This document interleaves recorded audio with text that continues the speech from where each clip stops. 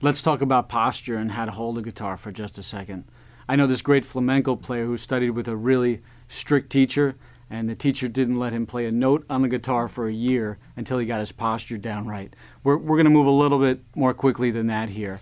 And basically, it's just the guitar kind of falls very naturally into your lap. The waist can just sit right across your thigh, assuming you're right handed, your right thigh, and your arms just kind of fall across the top. Sometimes players will want to get in like this, which is more of a classical position. And you might find that better if playing like this cuts off the circulation on your upper arm. You might want to sit like this or even get a little guitar footstool to lift your left leg up a bit. But most people, just for strumming along, are going to want to sit like this in a very natural way.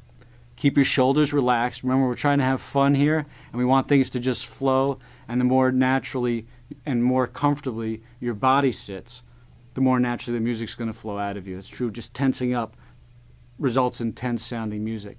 By the same token, you know, as we're trying to fret chords for the first time, it's going to be tricky and we're going to have a lot of tension in our hand and we're going to be trying to press really hard and it can result in certainly calluses and sore fingertips and maybe even some hand or wrist soreness. Try and relax as best you can. Everybody encounters this as they get started, but you really, if you just think about keeping your hand in a very natural position and then bringing it to the guitar neck and then only pressing as hard as you need to to sound the notes. We'll talk about that when we get into chords. But it's just all about sitting with the guitar comfortably and playing comfortably.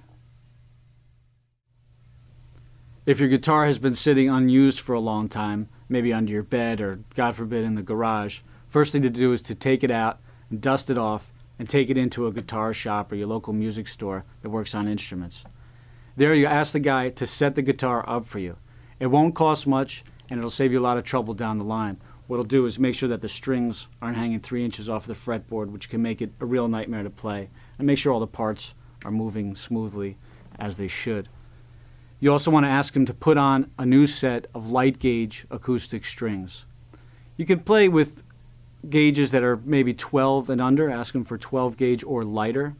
Uh, anything heavier than that is really going to uh, be tough on your fingers, and anything way lighter is going to go out of tune a little bit too quickly. So just ask him for a nice set of light gauge strings and have him tune it up for you.